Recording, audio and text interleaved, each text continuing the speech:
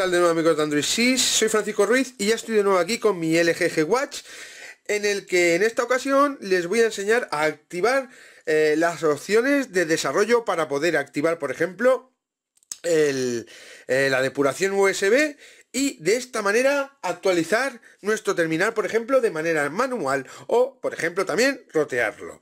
Bien, eh, para activar esas opciones de desarrollo nos vamos a ir a ajustes y como veis aquí al final de todo yo ya las tengo activadas. Desde aquí vamos a tener opciones por ejemplo de mantener activo durante la carga, podemos ponerlo en sí para tener el reloj activo durante la carga, eh, inicio de sesión espía por Bluetooth, que esto eh, especialmente no sé lo que es, pero bueno, depuración ADB, que esta es la que tendríamos que tener activada para actualizar, por ejemplo, el terminal de manera manual, como en el tutorial que os estoy explicando, eh, depurar por Bluetooth, eh, eh, revocar todas las autorizaciones de depuración, permitir ubicaciones simuladas, depurar diseños, etcétera. Estas son opciones para desarrollo.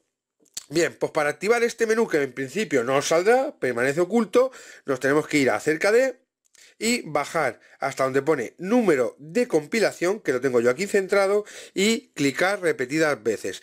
Esto es igual que en Android. Si veis, cliqué repetidas veces y ya me pone que no es necesario ya que están activadas las opciones de desarrollo. Vosotros al clicar os saldría un anuncio que si clicas dos o tres veces más se activará el menú oculto de opciones de desarrollo. Pues nada, vosotros clicáis y cuando vayáis para atrás ya os aparecerá aquí abajo el de opciones de desarrollo, en el que para actualizar y seguir el tutorial que os estoy explicando cómo actualizar a Android 5.01 Lollipop, tan solo tendréis que ir a depuración ADB y clicar en sí.